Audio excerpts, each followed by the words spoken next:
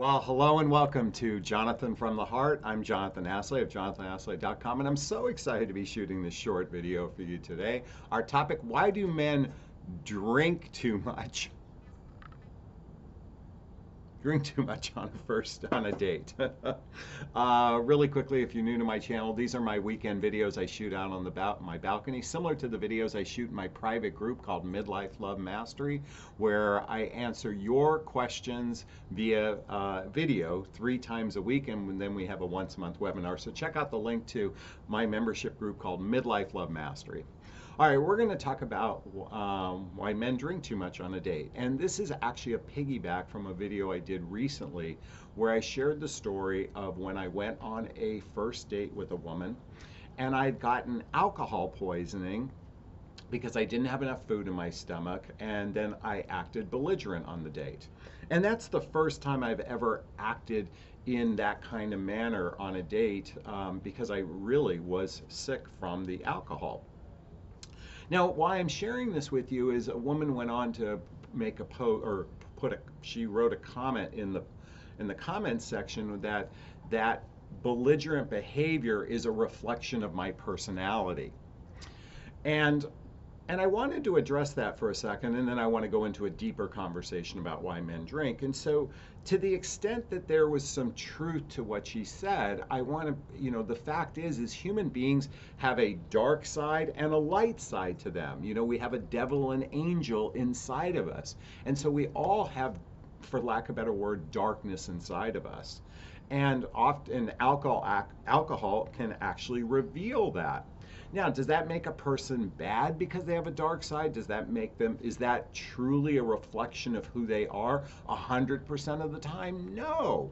You know, we, we can find, you know, one of the things that my dark side um, when I'm watching a car race and if I see a car accident, while I don't want anyone to get hurt, it's kind of exciting to see an accident happen.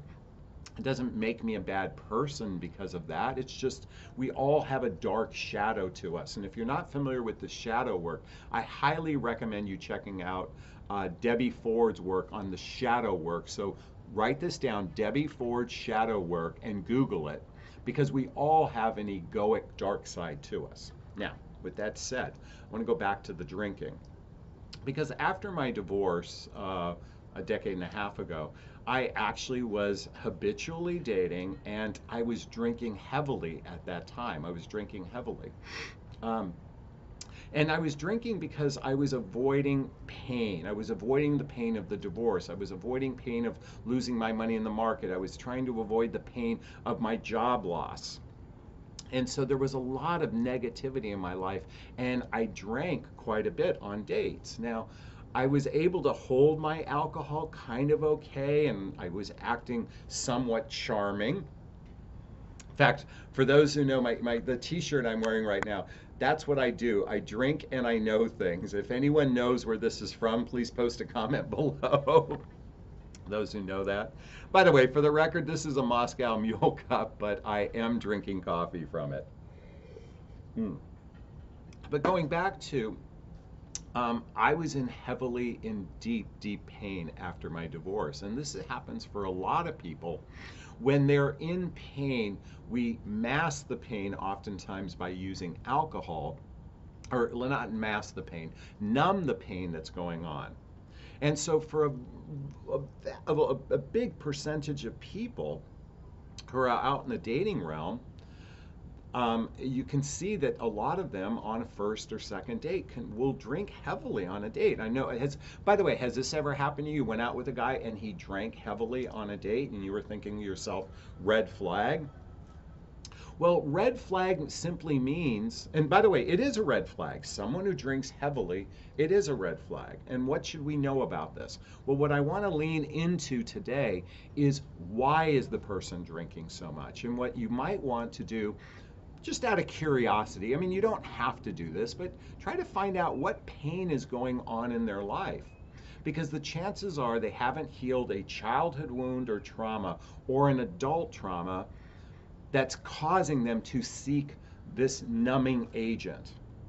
And I can tell you that for a, for almost a decade, I was habit I was doing drugs, I was drinking alcohol, I was habitually dating because I was I was so miserable on the inside. And that's oftentimes why people do drink because they're on the miserable. They're miserable on the inside. I mean, drink heavily. I'm not saying, you know, look at that. Just because uh, someone drinks a glass of wine uh, once a night or once a week or something like that, I'm not suggesting that. I'm talking about people who drink heavily, especially on a date.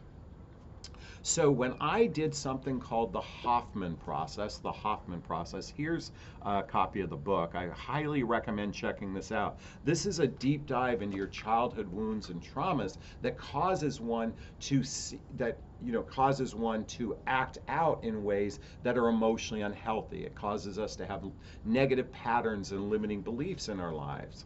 And after doing this program, I found my life changed dramatically.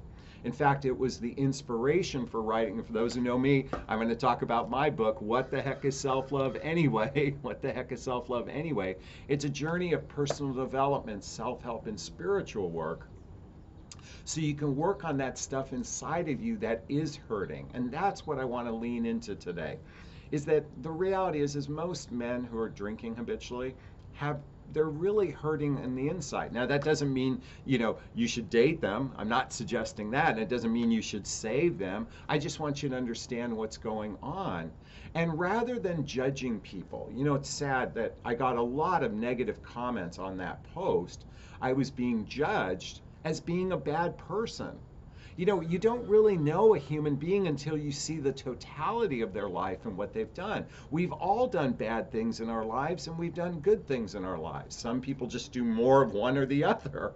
But I'm here to say that a person who drinks heavily on dating is, is just simply in pain and they're trying to mask it or avoid their problems. And, and again, this doesn't mean you should date that person. And when I said earlier, red flag, I mean, for most people, it's a deal breaker. Deal breaker. That's a deal breaker. Red flag simply means ask more questions. And I highly recommend just leaning into what might be going on inside that person from a place of compassion. And again, it doesn't mean you have to date them. I mean, you're free will. You can do whatever you want. I'm just giving you some backdrop as to why this might happen. All right, I hope that answered your question. Please post a comment below if this resonated with you. If you have something to add, I'd like to hear about it. I'm going to wrap up this video as I always do. First off, giving myself a big, gigantic Jonathon Bear hug of self-love. I'm going to reach into the camera and give you a hug of love if that's okay. I'm going to ask you to turn to someone or a pet or even a teddy bear and give it or them a hug of love because hugs are a great source of love and we can all use more love in our lives. Thanks a bunch. Bye-bye now.